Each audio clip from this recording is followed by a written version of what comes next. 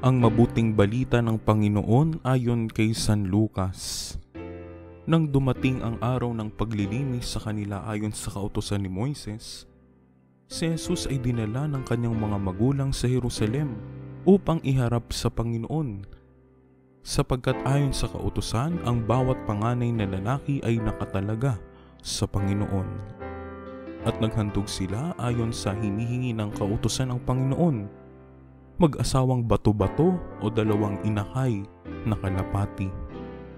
May isang tao noon sa Jerusalem ang pangalay Simeon. Matapat at malapit sa Diyos ang lalaking ito at naghihintay ng katubusan ng Israel. Sumasa kanyang Espiritu Santo na nagpahayag sa kanya na hindi siya mamamatay hanggat hindi niya nakikita ang Mesiyas na ipinangako ng Panginoon. Sa patnubay ng Espiritu, pumasok siya sa templo at nang dalhin doon ng kanyang mga magulang ang sanggol na si Jesus upang gawin ang hinihingi ng kautusan, siya'y kinalong ni Simeon. Ito'y nagpuri sa Diyos na ang wika, Kunin mo na Panginoon ang iyong abang alipin ayon sa iyong pangako. Yamang nakita na ng aking mga mata ang iyong tagapagligtas na inihanda mo para sa lahat ng bansa. Liwanag itong tatanglaw sa mga hentil at magbibigay karangalan sa iyong bayang Israel. Ang mabuting balita ng Panginoon. Pagsasadiwa Mapayayaon mo na ang iyong utusan Panginoon ng may kapayapaan ayon na rin sa iyong wika pagkat nakita na ng aking mga mata ang iyong pagliligtas na inihanda mo sa paningin ng lahat ng bansa. Maliwanag para sa mga Hudyo na Israel ang bayang pinili ng Diyos dahil mahalaga sila sa Panginoon at batid nilang may natatanging plano ang Diyos para sa Israel.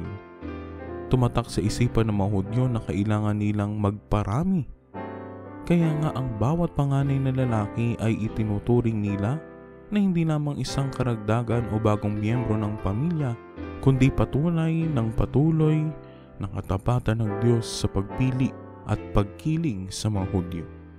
Totoong ipinagpapasalamat sa Diyos ang bawat panganay na lalaki. Katulad ng karaniwang pamilyang Hudyo, nag-alay sa templo ang mag-asawang Maria at Jose ng dalawang inakay na kalapati Karaniwan na para kay Simeon na makakita ng mga magulang na nag-aalay ng kanilang anak sa templo. Ngunit sa kapangyarihan ng Espiritu Santo, naunawaan ni Simeon na kakaibang araw na iyon.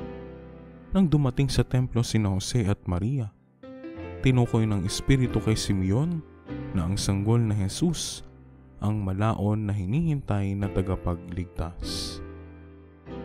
Pagsasagawa Katulad ni Simeon, matuto nawa tayong maghintay sa katuparan ng ating mga pangarap sa buhay at gayon din sa katuparan ng pangarap ng Diyos para sa atin.